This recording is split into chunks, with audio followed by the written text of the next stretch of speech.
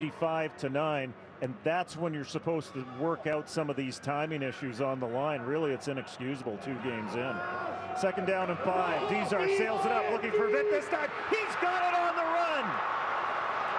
Will he be caught? Michael Schmidt saves the touchdown at the 10 yard line. First time we've seen Michael Schmidt get burned on a deep play and it looked like he stumbled a little bit just before Vitt caught that big pass.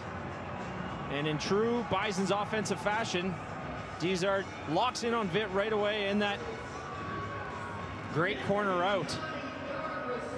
Schmidt does a good job of catching up and bringing Vitt to the ground before he becomes six. Deezar's taken some heavy hits tonight, but he has stood and delivered.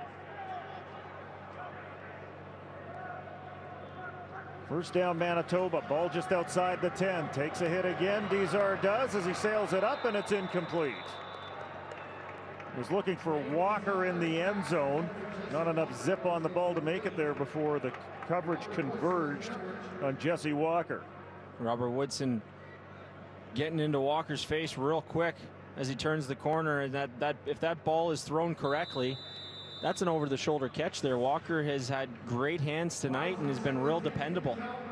So after a great strike from Deezar, he underthrows one, and that's just the inconsistency of a young quarterback showing its showing its uh, throughout a game.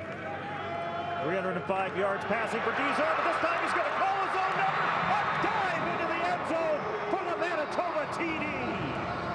Great job by Deezar seeing that whole defense spread out, parting like the Red Sea. And with his giant long legs, covers 20 yards in literally three steps. Maybe a couple more, and then stretching his long body out into the end zone. He may have the stride of Usain Bolt, he but he doesn't have the form, but he can work on that he over the next few years. Absolutely. That's what happens when six foot five dives towards the end zone. High snap pulled down by Peterson, but the extra point is up and through by Ryan Jones.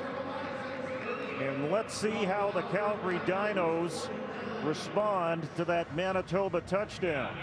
We, fe we felt that the momentum was shifting back to Calgary, but with a drive like this and a finish like this by Deezar, it's all gone back to the herd. Well, based off the way he was scanning the field, I have a feeling this was a designed quarterback draw. It gets back, drops back, looks off a receiver, waits for that up, up uh, upfield pressure to come, and then sees a hole, takes it right away.